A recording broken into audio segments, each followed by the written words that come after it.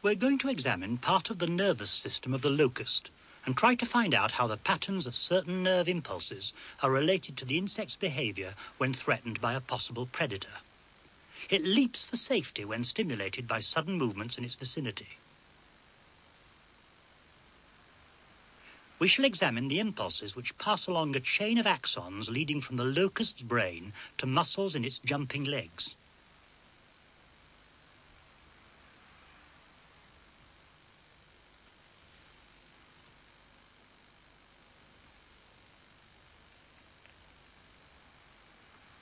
A large female locust is chilled in a refrigerator so that its activity is slowed down, but it isn't killed.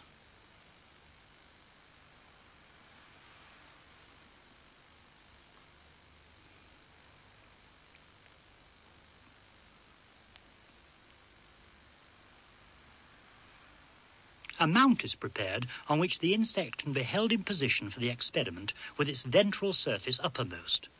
It's stuck down using melted beeswax.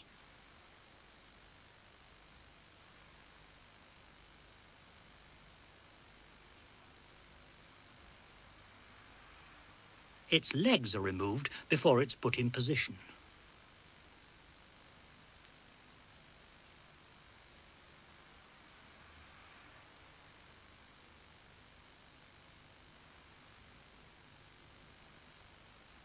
There's one of the insect's eyes, and there's the thorax with the stumps of the six legs.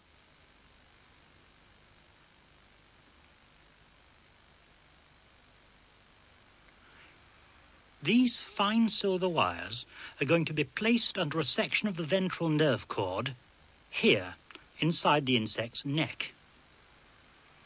Connection can then be made along this cable to the recording equipment which we shall see later.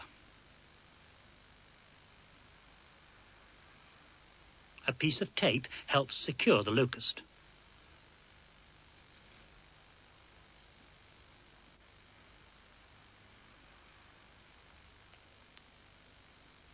It's put under the dissecting microscope.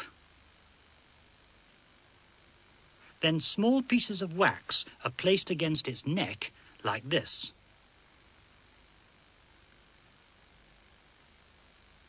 And they're melted into position, holding the head back.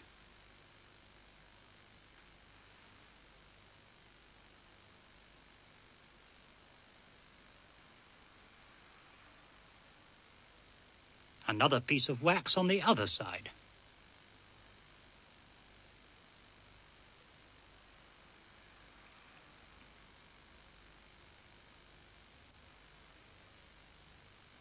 Now we're ready to begin the dissection.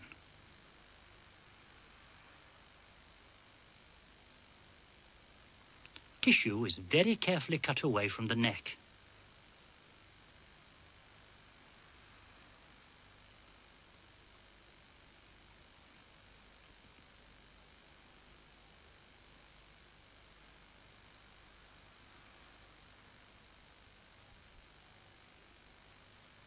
Dry it out a little, and we expose the cervical connectives of the ventral nerve cord. The descending contralateral movement detector, the DCMD, runs inside these connectives. Now, one of the fine silver wires is placed in position under the nerve cord. It's pressed into the melted wax to hold it in position. Now for the second wire.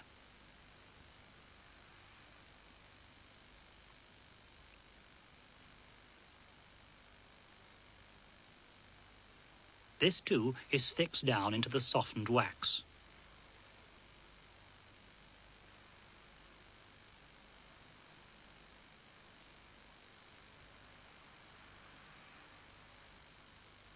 We separate the wires so that they're not touching.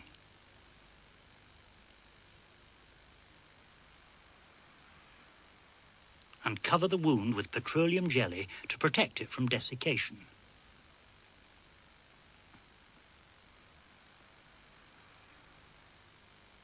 Here's the experimental setup. There's the locust.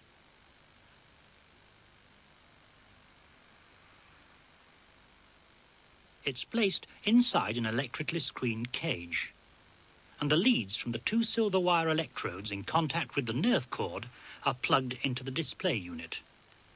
Now electrical activity in the cord will be picked up by the electronic equipment.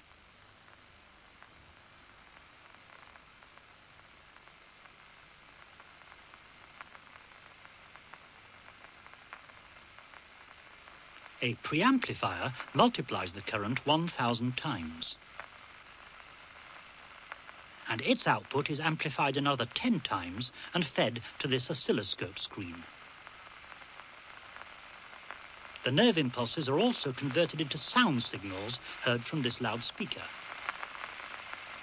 A second oscilloscope can store the pattern present at any given moment in time so that it can be examined.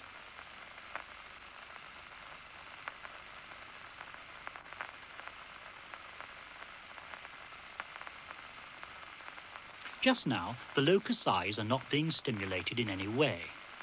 We're interested in this, its right eye. The oscilloscope exhibits the resting state, with no prominent nerve impulses showing. Frozen on the storage screen, it looks like this.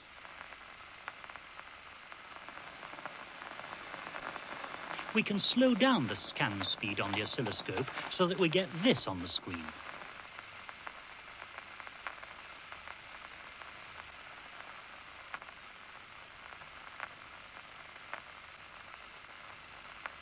And here it is as it appears on the storage screen.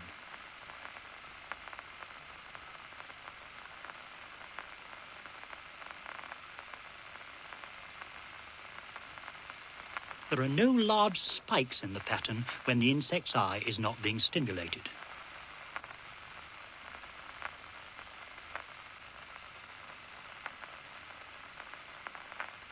We're now going to stimulate the right eye by making a shadow pass over it. See the characteristic large spikes indicating nerve impulses in the DCMD? Here they are frozen. Each spike represents what's called an action potential of about 2 millivolts in the neuron. The pattern's biphasic, a peak followed by a trough. Let's watch it at a slower rate of scan.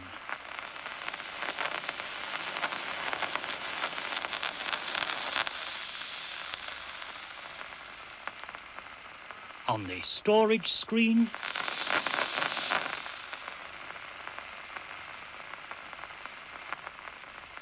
Resting, we get no spikes.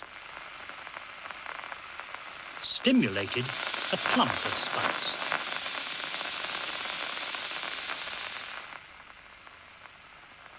To investigate what's happening in a more controlled way, we use this continuous paper band, a kymograph. The paper passes across in front of the locust, which is here.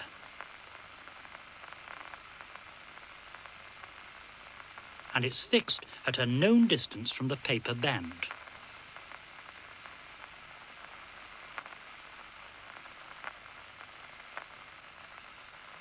Here's the second drum on the right.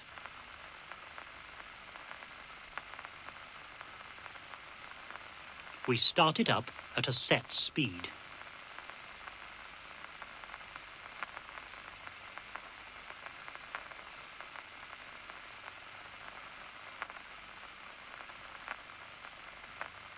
And you can see that this has no stimulating effect on the locust.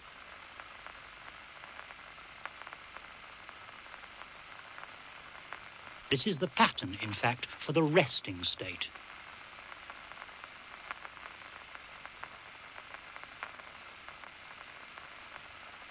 But now we fix a black disc on the moving paper band, which subtends a certain angle at the insect's right eye. This disc represents a 10 degree target. And here's the pattern of action potential spikes produced in the DCMD. Suppose the speed of the target spot is increased.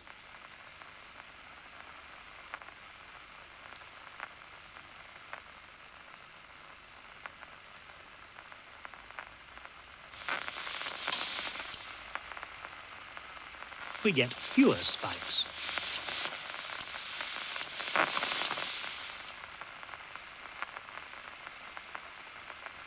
If the spots slowed down considerably,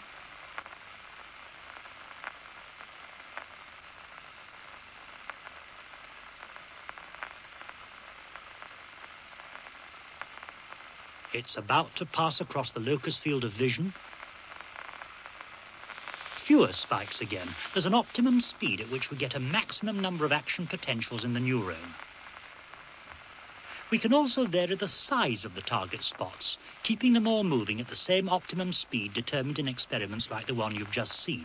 This little disc subtends an angle of only two degrees at the locust's right eye.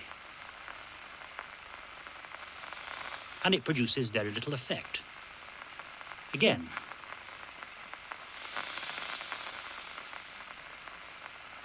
Now for a four degree disc. A slightly greater effect. Six degrees. Quite a clump of action potential spikes. Eight degrees. A more marked effect. 10 degrees. A quite large cluster of spikes. 12 degrees. Another large cluster. 20 degrees, a big disk. And less effect.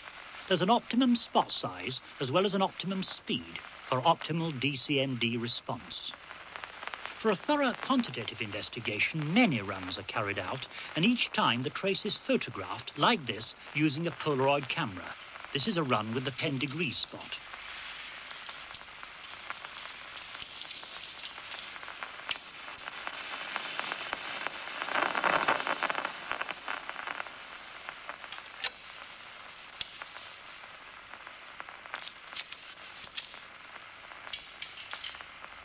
And we get a picture like this.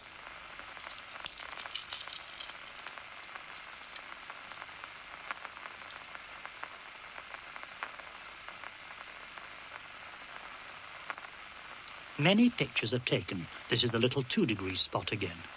Each disc is run several times with pauses between for the locust to settle down again. Here's its picture.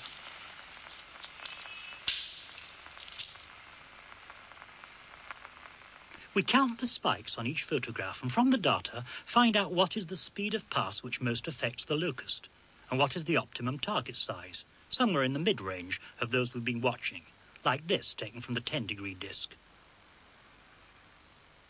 We can also see evidence of adaptation, which is explained in the experiment booklet.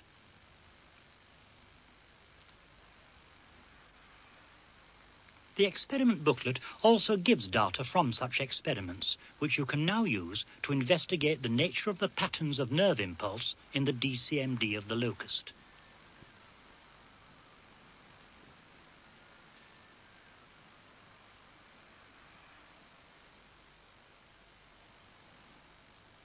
Then you can try to relate this to the insect's escape response from possible predators.